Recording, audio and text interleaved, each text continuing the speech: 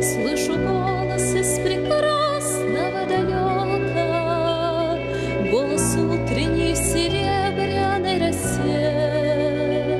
Слышу голос и дорога. Теперь немножко о детях. Знаете, а, это так как мы говорим еще немножко с министром просвещения, вот эти дети, у меня сотня фотографий, я еще не делал фотографии, не только своих детей, они всегда улыбаются. Внимание! Они улыбаются до школы.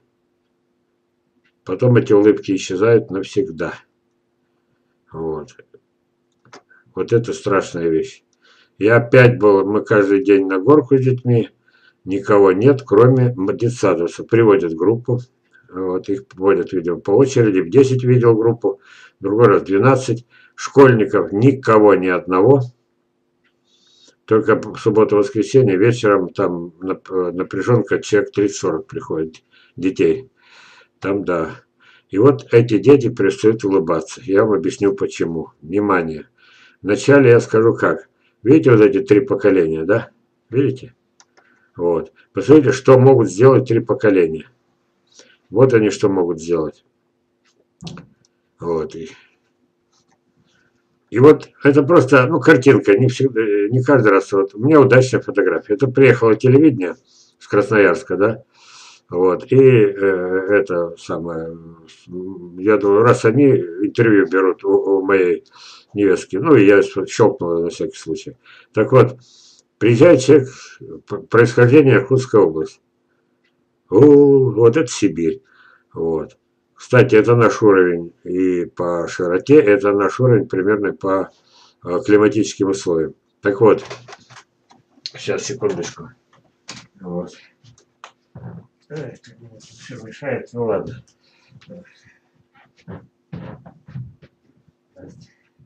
Слушай, это, дочка, что не приходила-то? А днем? А где Диана? А что не взяли Диану? Ну что, что это? Ну, короче, идите готовьте кушать.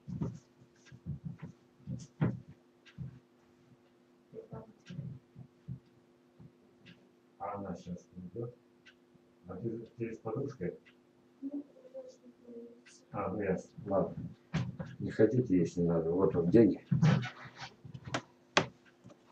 Так, сейчас секундочку. Знаете, ну куда деваться-то? Мне говорят, сколько у тебя детей? Я говорю, не знаю. Как не знаешь? Я их сосчитать не могу.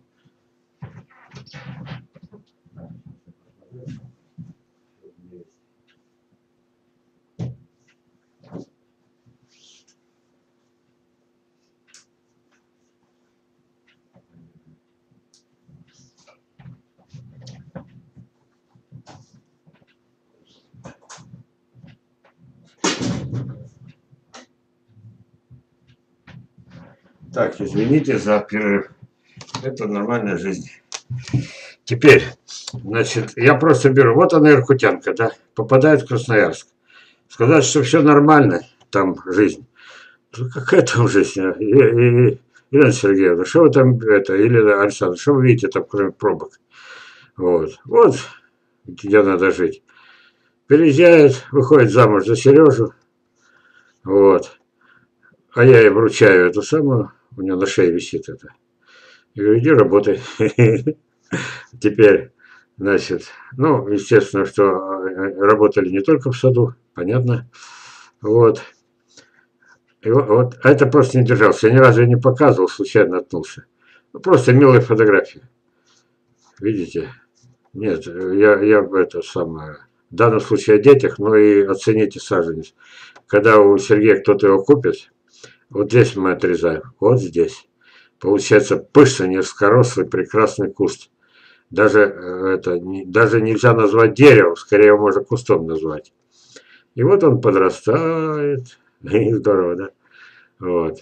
Проходит еще год. Здорово. Вот. А потом Тимоша 6 лет начал задумываться. Знаете за что? Я сейчас, вы еще не поняли, к чему я говорю. Вы давайте просто, вот, знаете, чем бы занять время? Не, мы подходим к главному. То, о чем не задумывается даже министр, я просто подсказчиком хочу министра, я хочу программу составить для детей. Если вдруг однажды. Вот посмотрите, э, Антонина Скугарева, Тонечка, обязательно обмолвитесь, кто был инициатором этого, да, вы.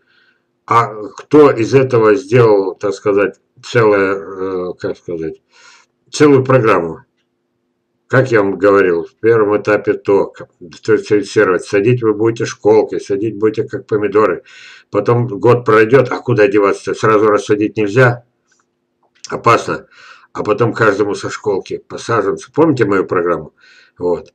Так вот, какие у нас дети? Вот этому ребенку было 6 лет. Так. Вот он наконец задумался.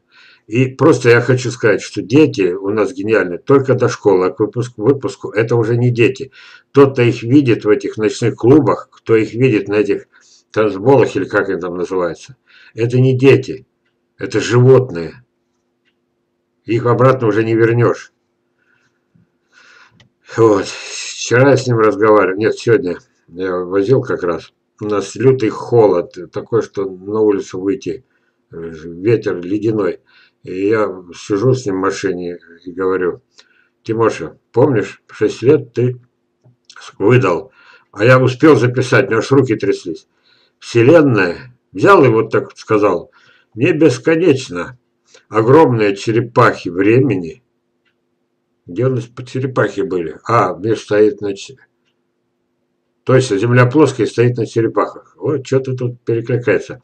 Огромные черепахи времени держат огромный космос и эти черепахи бесконечны. Сегодня я его спрашиваю, а я понимаю, что вся его гениальность, а все дети гениальны, подчеркиваю. У меня еще есть Сенька, тот еще гениальный, хотя ему 5 лет. То вот тоже сделать тупым.